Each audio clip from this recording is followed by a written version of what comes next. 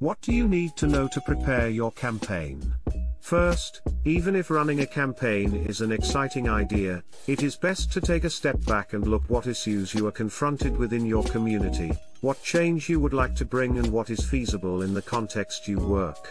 In some cases, while a campaign might be necessary to raise awareness, the timing might not be the best. For example, an election year is coming, and your message could be lost or hijacked by the political campaign.